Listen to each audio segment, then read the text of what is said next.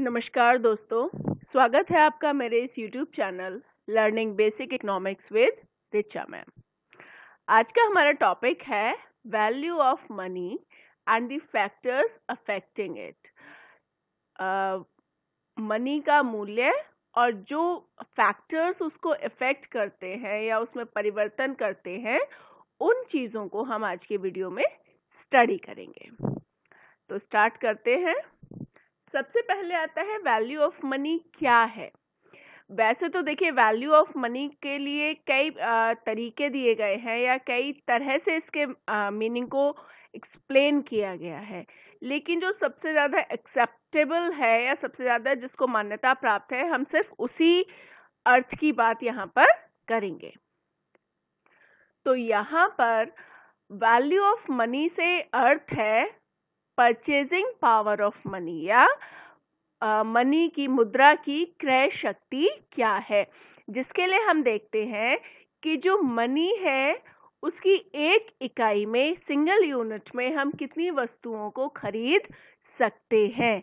वही मुद्रा का मूल्य होता है। मैं फिर कह रही हूँ, इसके तीन मीनिंग है अलग अलग लेकिन हमें इतनी डेप्थ में इसमें जाने की ज़रूरत नहीं है, क्योंकि जो क्वेश्चन बनता है, वो सिर्फ़ इसी मीनिंग से बनता है कि मुद्रा की एक यूनिट में हम कितनी वस्तुओं का क्रय कर सकते हैं।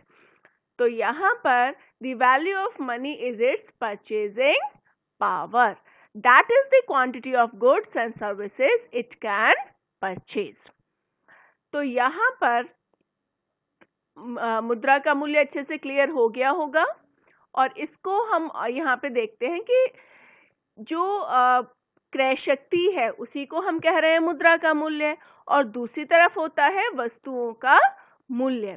तो एक तरफ़ हो गया वैल्यू ऑफ़ मनी और दूसरी तरफ़ हो गई वैल्यू ऑफ़ प्रोडक्ट्स या फिर प्राइसेस या उसको हम कह सकते हैं जनरल प्राइस लेवल तो अगर इनको हम आपस में देखें तो दोनों का बिल्कुल इन्वर्स रिलेशन होता है। बोथ आर इन्वर्सली रिलेटेड क्योंकि देखिए, जब मुद्रा का जब वस्तुओं की कीमतें बढ़ती हैं तो वहाँ पर एक तरफ़ तो ये है, उस वस्तु के लिए हमें पहले से ज़्यादा पैसा खर्च करना पड़ा। ये तो वस्तु का मूल्य हो गया, इसका मतलब है वस्तु का मूल्य बढ़ गया। दूसरी तरफ़, अब उतनी मुद्रा में हम पहले से कम वस्तु को खरीद पा रहे हैं, जिसका मतलब हुआ कि मुद्रा का मूल्य घट गया। पहले जितनी यूनिट में हम जितनी वस्तु को खरीद सकते थे, अब उतना हम नहीं खरीद सकते। अब हमें ज़्यादा पैसे की ज़रूरत पड़ेगी उतनी ही वस्तु को खरीदने के लिए। तो यहाँ पर इसीलिए इस रिलेशनशिप को कहा जाता है कि value of money and general price level are inversely related अगर एक बढ़ेगा तो दूसरा डेफिनेटली घटेगा और अगर पहला घटेगा तो दूसरा डेफिनेटली बढ़ेगा। ये इन्वर्स रिलेशन इनमें हमेशा चलता है। अब अगर हम देखें कि मुद्रा के मूल्य को क्या चीज़ें प्रभावित करती हैं तो चार मेजर फैक्टर्स हैं जिनको हमने यहाँ पर लिया है। पहला आ जाता है इन्फ्लेशन हम बार बार इस चीज़ को पढ़ चुके हैं।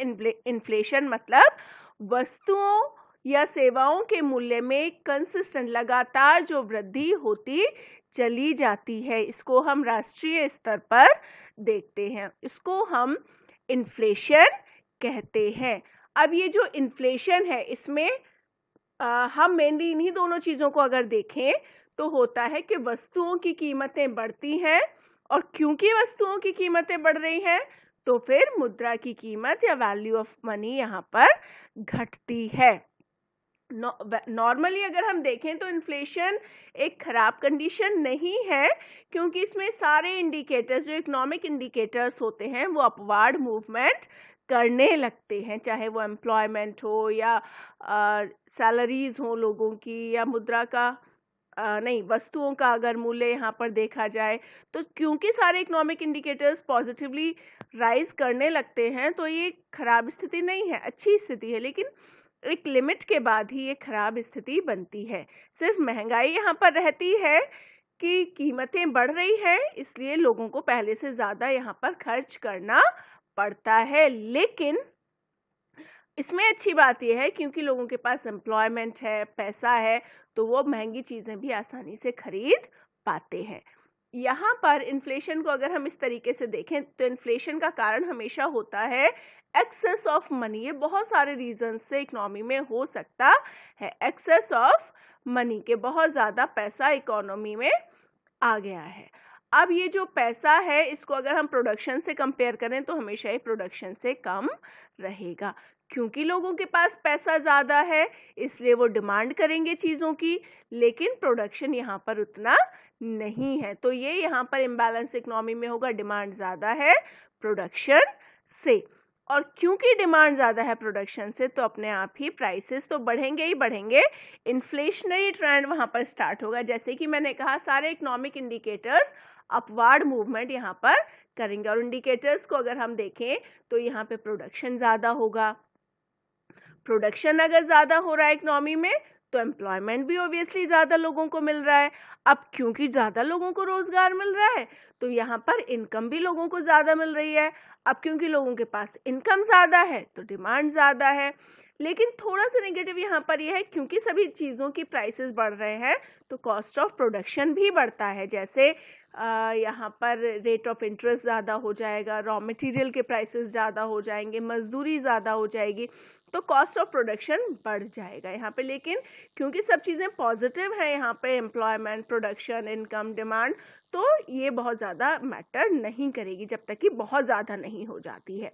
और मेन हमारे इंडिकेटर्स ये थे ही कि हाई प्राइसेस महँगाई तो बढ़ती है ना इन्फ्लेशन में, लेकिन वैल्यू ऑफ़ मनी क्योंकि अपोजिट डायरेक्शन में मूव करती है तो लो वैल्यू ऑफ़ मनी अब इसको और एक बार हम देख लेते हैं। देखो, ये हमने मान लिया एक बैलेंस यानी कि इक्विलिब्रियम की लाइन है इकोनॉमी के लिए।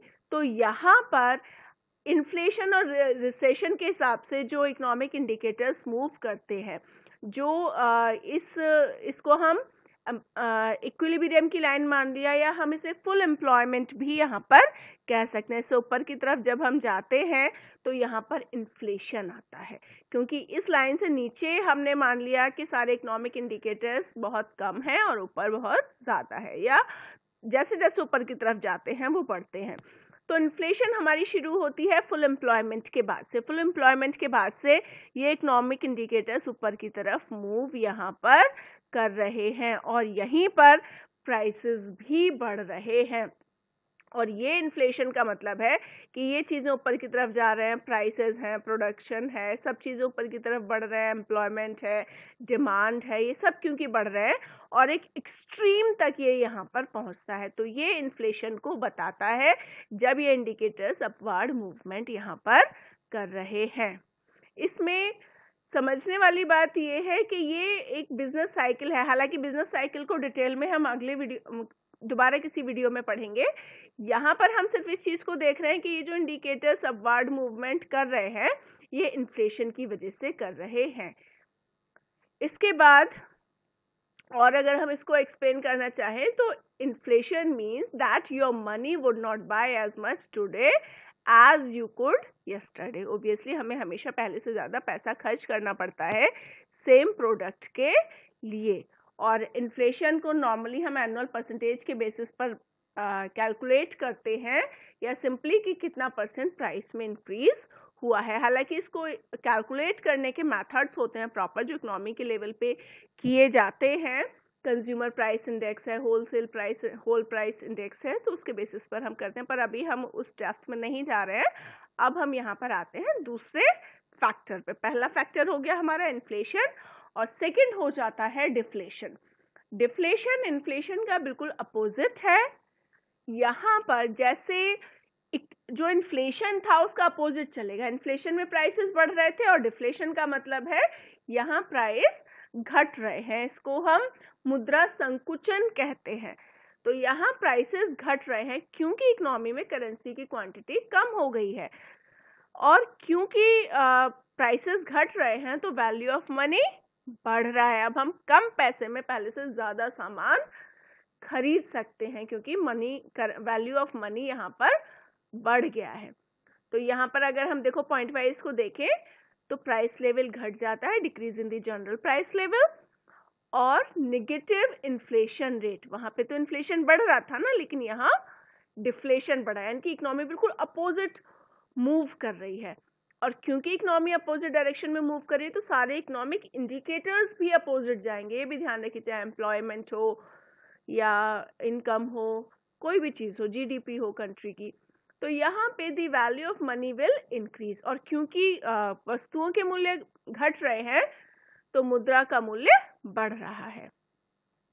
और जो नेगेटिव और stagnant economic growth economic growth यहाँ या तो रुक जाएगी या अपोजिट डायरेक्शन में जाएगी और इसीलिए हम इस इकोनॉमी को एक स्टेगनेंट या सॉरी डिक्लाइनिंग इकोनॉमी कहते हैं। इसके एग्जांपल मैंने यहाँ पर जैसे लिखे हुए हैं ग्रेट डिप्रेशन या जापानीज इकोनॉमी में आया था 1990 ग्रेट डिप्रेशन क्योंकि पूरे वर्ल्ड से ही एक तरह से रिलेटेड था तो इसको हम थोड़ा सा देख लेते हैं। ये 1929-30 में आया था, जिसमें कि हम देखते हैं कि ब्रिटिश रूल था ज़्यादातर कंट्रीज़ के ऊपर। तो स्टार्टिंग तो इसका जो सेंट्रल पॉइंट था वो यूरोप ही था। लेकिन इसने पूरे वर्ल्ड को इफ़ेक्ट किया था। यहाँ पर इन्होंने इंडस्ट्रियलाइजेशन कर लिया, बहुत ज़्यादा यहाँ पे प्रोडक्शन हो गया। अब क्योंकि बहुत ज़्यादा प्रोडक्शन है तो एकदम से इतना ज़्यादा करने के बाद वो प्रोडक्शन बेचना संभव नहीं है, क्योंकि डिमांड थोड़ा बहुत बढ़ाई जा सकती है, एकदम से इतनी नहीं बढ़ाई जा सकती कि पहले जो चीज़ हाथों से बनाई जा रही है, उसको अब हम मशीनों से बना रहे हैं इंडस्ट्रीज़ में बना रहे हैं तो प्रोडक्शन तो कई कई गुना बढ़ गया, कई गुना क्या मतलब कई सौ गुना प्रोडक्शन यहाँ पर बढ़ गया, जिसको बेचना एकदम से संभव नहीं था। और जब वो नहीं बिका तो प्रोडक्शन या तो कम करना पड़ा या बंद करना पड़ा। प्रोडक्शन कम करने का मतलब था कि लोग अनएम्प्लॉयड हो गए। अनएम्प्लॉयड होने का मतलब है कि अब इनकम भी कर उन लोगों को और कम मिलेगी। इनकम कम मिलने का मतलब है कि अब वो डिमांड बहुत कम करेंगे। तो जितनी डिमांड पहले थी, अब उससे भी कम हो गई। अब सामान और भी नहीं बिक रहा है। और नहीं बिकने का मतलब है फिर से प्रोडक्शन को या और कम करना पड़ेगा या फिर बंद करना पड़ेगा। तो एक चेन रिएक्शन की तरह स्टार्ट हो गया, जिसके बाद लगातार जो उसके रिजल्ट्स देखने को मिल रहे थे, वो यही थे कि प्रोडक्शन बंद। प्रोडक्शन बंद हुआ तो अनएम्प्लॉयमेंट और ज़्यादा बढ़ गया। अनएम्प्लॉयमेंट बढ़ गया तो लोगों की पास इनकम और भी कम मिली। इनकम कम मिलने का मतलब है वो डिमांड नहीं कर सकते। तो इतनी भयावह स्थिति उस समय भारत में या कहना चाहिए पूरे वर्ल्ड में हो चुकी थी कि एक तरफ़ तो गोदामों में हर जगह सामान भरा पड़ा है प्रोडक्शन किया हुआ, जो कि बिक नहीं रहा है, जिसको बेचने के लिए बहुत सारी कोशिशें कर रहे हैं, बिक नहीं रहा है। दूसरी तरफ़ जनता है, जिसे उस सामान की बहुत ज़्यादा ज़रूरत है, और वो फिर भी उसे नहीं खरीद पा रही क्योंकि उसके पास पैसे नहीं है। और ऐसा नहीं है कि वो सामान महँगा है, सामान बहुत सस्ता है और इवन लास्ट में तो ये स्थिति थी कि जो मैन्युफैक्चरिंग कॉस्ट थी प्रोडक्शन की, उससे भी बहुत ज़्यादा सस्ता उस सामान को बेचा जा रहा था, लेकिन उसके बाद भी वो नहीं बिक रहा था क्योंकि लोगों के पास उतने भी पैसे नहीं थे। तो ये सबसे बड़ा डिप्रेशन जो कभी आया, ये 1929 में था, इसीलिए इसको द ग्रेट डिप्रेशन कहा जाता है। तो चीज़ें वही हैं प्रोडक्शन ज़्यादा है और करेंसी कम है, और उसी का चेन रिएक्शन एक तरीके से इतना ज़्यादा उस समय हो चुका था। एक बार इसको भी हम इस तरह से देख लेते हैं। देखिए डिफ्लेशन का मतलब है शॉर्टेज ऑफ़ मनी या एक्सेस ऑफ़ प्रोडक्शन या दोनों। या तो प्रोडक्शन बहुत ज़्यादा हो गया है या पैसा बहुत कम है इकोनॉमी में, जिसकी वजह से वैल्यू ऑफ़ मनी बढ़ गया है और चीज़ें महँगी सॉरी चीज़ें सस्ती मिल रही हैं। इसकी वजह से फिर हम देख रहे हैं क्योंकि शॉर्टेज ऑफ़ मनी है या एम्प्लॉयमेंट कह सकते हैं, कम है लोगों के पास या उनके पास इनकम कम है, पैसा कम है तो ओवरऑल यहाँ पर हम देख रहे हैं इन शॉर्ट डिमांड कम हो जाती है। डिमांड कम है और प्रोडक्शन बहुत ज़्यादा है। अब क्योंकि प्रोडक्शन डिमांड से ज़्यादा है तो क्या होगा? वहाँ पर प्राइसेस कम हो जाएँगे। प्रोडक्शन ज़्यादा है बेचने के लिए क्या करना पड़ेगा? प्राइसेस को कम करना पड़ेगा और यहाँ से सारे economic indicators downward movement start कर देते हैं, क्योंकि सामान वही नहीं बिक रहा है तो और ज़्यादा प्रोडक्शन करने का तो कोई सेंस है ही नहीं। तो यहाँ पर या तो प्रोडक्शन बंद कर दिया जाएगा या फिर कम कर दिया जाएगा तो लो प्रोडक्शन अब क्योंकि प्रोडक्शन कम किया गया है तो अनएम्प्लॉयमेंट बढ़ेगा, यानी कि एम्प्लॉयमेंट कम हो जाएगा, लोगों को रोज़गार कम मिलेगा। अब जब लोगों को रोज़गार कम मिलेगा तो यहाँ पर इनकम लोगों की बहुत कम हो जाएगी। अब क्योंकि इनकम यहाँ पर कम है तो वो डिमांड कम करेंगे डिमांड कम करेंगे तो फिर यहाँ पर प्राइसेस घट जाएँगे। प्राइस यहाँ पर कम होने लगते हैं, इसीलिए इसे डिफ्लेशन या मुद्रा संकुचन कहते हैं इसी को यही आगे जाकर मंदी में कन्वर्ट हो जाता है। तो यहाँ पर देखिए, क्योंकि प्राइसेस कम है, यानी कि प्राइसेस ऑफ़ गुड्स या प्रोडक्ट्स तो वैल्यू ऑफ़ मनी से अपोजिट जाएगी। हाई वैल्यू ऑफ़ मनी यहाँ पर देखने को मिलेगा। और जो अच्छी चीज़ यहाँ पर होती है वो होती है कॉस्ट ऑफ़ प्रोडक्शन यहाँ कम हो जाता है क्योंकि सभी चीज़ों के प्राइसेस घट रहे हैं तो कॉस्ट ऑफ़ प्रोडक्शन भी घट जाएगा यानी कि रेट ऑफ़ इंटरेस्ट भी यहाँ पर कम हो जाएगा मजदूरी भी यहाँ पर कम हो रही क्योंकि लोगों को तो रोज़गार ही नहीं मिल रहा तो कम मजदूरी में आसानी से काम करने वाले लोग मिल रहे हैं तो यहाँ पे कॉस्ट ऑफ़ प्रोडक्शन भी कम हो जाता है। अब इसको हम यहाँ पर अगर देखें इस आ, कर्व के हिसाब से तो डिफ्लेशन आता है यहाँ पर। जो यहाँ पर इक्विलिब्रियम की स्थिति है या नॉर्मल कंडीशन अगर हम इकोनॉमी की देखें, ये है तो यहाँ पर जहाँ से ये economic indicators downward movement start कर रहे हैं एक लिमिट के बाद, अगर इसके ऊपर है वहाँ तक तो ठीक है, लेकिन अगर इसके नीचे डाउनवर्ड मूवमेंट कर रहे हैं, जिसको हम कह सकते हैं कि एम्प्लॉयमेंट घट रहा है डिमांड घट रही है, सब चीज़ यहाँ पर डाउनवर्ड मूवमेंट कर रही है तो ये जो कंडीशन है, ये डिफ्लेशन की कंडीशन होती है। थर्ड आता है रिफ्लेशन। अगर आपको इन्फ्लेशन और डिफ्लेशन अच्छे से समझ में आ गए हैं तो ये बहुत आसानी से आ जाएँगे। देखिए वो जो दोनों कंडीशन थी इन्फ्लेशन और डिफ्लेशन वो अपने आप इकोनॉमी में आती हैं और अपने आप इकोनॉमी को इफ़ेक्ट करती हैं। दोनों ही एक लिमिट के से ज़्यादा हो जाए तो इकोनॉमी के लिए बहुत घातक या हार्मफुल या अलार्मिंग सिचुएशन होती है। लेकिन अगर कंपैरेटिवली कहा जाए कि ज़्यादा खतरनाक क्या है तो हर स्थिति में डिफ्लेशन ही ज़्यादा खतरनाक स्थिति होती है। इन्फ्लेशन भी हम बहुत अच्छी नहीं कह सकते हैं, लेकिन यहाँ पर ये अच्छी इसलिए है कंपैरेटिवली क्योंकि यहाँ पर प्रोडक्शन बढ़ रहा है। यहाँ पे एम्प्लॉयमेंट बढ़ रहा है, यहाँ पे इनकम बढ़ रही है तो चीज़ें कितनी भी महँगी क्यों ना हो जाए, लोग उन्हें खरीदने में सक्षम होते हैं। लेकिन अगर हम डिफ्लेशन की बात करें तो यहाँ पर जब एम्प्लॉयमेंट ही नहीं रहेगा तो वहाँ से इकोनॉमी की जड़ कमज़ोर हो जाती है, क्योंकि वहाँ पर अब ना लोगों के पास पैसा है, ना रोज़गार है, ना इनकम है तो ना ही वो डिमांड कर तो चीज़ें बहुत सस्ती होने के बावजूद भी लोग इनको परचेज नहीं कर पाते हैं। चलिए रिफ्लेशन पे आ जाते हैं। रिफ्लेशन जो कंडीशन है वो गवर्नमेंट द्वारा या कोई भी जो एडमिनिस्ट्रेटिव अथॉरिटी है उसके द्वारा इकोनॉमी को वापस ट्रैक पे लाने की कंडीशन होती है। देखिए reflation is the act of stimulating the economy by increasing the money supply क्योंकि जब इकोनॉमी में डिफ्लेशन बहुत ज़्यादा बढ़ चुका है या कहना चाहिए मंदी की स्थिति आ चुकी है तो वापस उसमें कुछ ऐसे मुद्रा प्रसार करके ज़्यादा सर्कुलेशन ऑफ़ मनी करके वापस इन्फ्लेशनरी ट्रेंड को स्टार्ट करने की कोशिश की जाती है, जिससे कि इकोनॉमी मंदी से निकलकर वापस ट्रैक पर आ पाए। देखिए by increasing the money supply क्योंकि मंदी में क्या होता है? क्वांटिटी ऑफ़ मनी बहुत कम हो जाता है। तो इकोनॉमी में पैसे को बढ़ाया जाता है और बाय रिड्यूसिंग टैक्सेस क्योंकि टैक्स गवर्नमेंट कम लेगी तो भी इकोनॉमी में पैसा ज़्यादा रहेगा। तो इस तरह की जो स्टेप्स हैं वो सब लिए जाते हैं।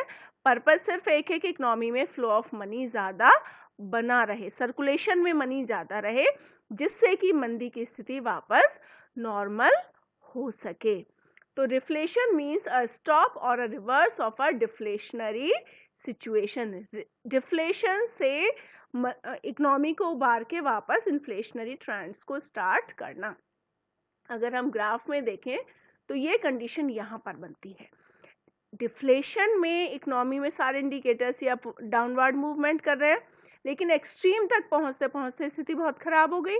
अब यहाँ पर गवर्नमेंट जो इनिशिएटिव्स ले रही है फ्लो ऑफ़ मनी को बढ़ा के, जिससे कि अब वापस से एम्प्लॉयमेंट बढ़ना शुरू हो प्रोडक्शन बढ़ना शुरू हो तो यहाँ पर जो लोगों के पास पैसा ज़्यादा है, जिससे कि डिमांड बढ़े और डिमांड जब बढ़ेगी तो ये इंडिकेटर्स वापस पॉजिटिव डायरेक्शन में मूव करना स्टार्ट कर पाएँगे। तो यहाँ पर भी अगर हम देखें, देखिए इन्फ्लेशन में भी ये सब चीज़ें बढ़ रही हैं। और रिफ्लेशन में भी ये चीज़ें बढ़ रही हैं। लेकिन फ़र्क ये है कि इन्फ्लेशन एक नेचुरल टेंडेंसी अपने आप जो आ रही है इकनॉमी में और ये बहुत ज़्यादा वाली स्थिति में है। लेकिन ये जो रिफ्लेशन है बहुत बॉटम पॉइंट पे इकनॉमी है और यहाँ से उसमें अपवर्ड मूवमेंट लाया जा रहा है। यहाँ पे इंटेंशनली या आर्टिफिशियल तरीके से गवर्नमेंट इस ट्रेंड को लाने की कोशिश कर रही है।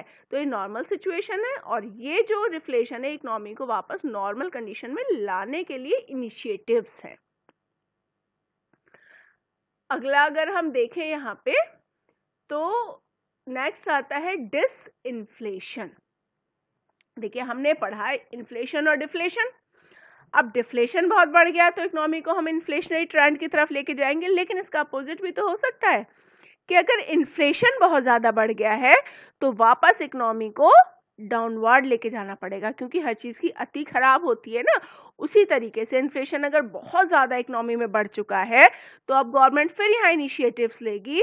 ये जो इकोनॉमिक इंडिकेटर्स हैं, उन्हें कम करने के लिए और इकोनॉमी में फ्लो ऑफ़ करेंसी को कम करने के लिए disinflation is an decrease in inflationary rates या inflation rates a decline in the rate of increase in the general price level of goods and services. तो यहाँ पर इन चीज़ों को कम किया जाता है। कम इन द सेंस कि इसमें बल्कि बहुत सी जगह ये भी लिखा होता है कि नेगेटिव करने की कोशिश की जाती है, जिसका मतलब सिर्फ़ ये है कि अगर इकोनॉमी में रेट ऑफ़ इन्फ्लेशन पंद्रह परसेंट है तो उसे तेरह परसेंट पे लाया जाएगा या चौदह परसेंट पे लाया जाएगा।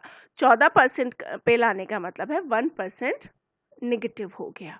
सिर्फ़ यही उसका मतलब है, ऐसा नहीं है कि माइनस में जाएगी वो वैल्यू उसका मतलब है रेट ऑफ़ इन्फ्लेशन को धीरे धीरे कम किया जाता है वापस इकोनॉमी को ट्रैक पे लाने के लिए। ज़रूरत से ज़्यादा जो इन्फ्लेशन आ चुका है उसको कम करने के लिए जो इनिशिएटिव्स होते हैं। So it is the reverse of reflation reflation में हम क्या कर रहे थे? इन्फ्लेशन की तरफ़ लेके जा रहे थे इकोनॉमी को। और डिसइन्फ्लेशन में क्या कर रहे हैं? इन्फ्लेशन से रिसेशन की तरफ़ लेके आ रहे हैं। The central bank commonly uses disinflation to describe a period of slowing inflation clear okay तो यहाँ पर अगर आप देखना चाहो एक बार डिसइन्फ्लेशन और डिफ्लेशन ये दोनों बिल्कुल अलग अलग हैं। देखो, यहाँ पर, इसको एक बार ग्राफ में देखते हैं, यहाँ पर। देखिए डिसइन्फ्लेशन और डिसइन्फ्लेशन और डिफ्लेशन दोनों यहाँ पर डाउनवर्ड मूवमेंट करते हैं। लेकिन जो डिफ्लेशन है, ये भी वही चीज़ है कि ये एक नेचुरल टेंडेंसी है जो कि अपने आप आ रही है। लेकिन डिस डिसइन्फ्लेशन गवर्नमेंट इनिशिएटिव्स लेके या स्ट्रैटेजी यूज़ करके लाने की कोशिश करिए डिसइन्फ्लेशन अपने आप आ रहा है और एक लेवल से कम पे ले जा रहा है इकोनॉमी को। लेकिन जो डिसइन्फ्लेशन है, वो बूम पे इकोनॉमी है या क्योंकि इन्फ्लेशन एक्सट्रीम हो चुका है, उसे कम करने के लिए गवर्नमेंट कोशिश कर रही है और फ्लो ऑफ़ करेंसी को इकोनॉमी में कम कर रही है। तो ये वाली जो कंडीशन है, ये आर्टिफिशियली लेके आ रही है गवर्नमेंट जो इकनॉमी है उसको ट्रैक पे लाने के लिए, जबकि जो डिफ्लेशन है, वो अपने आप आता है इकनॉमी को ज़्यादा नीचे की तरफ़ लेके जाता है।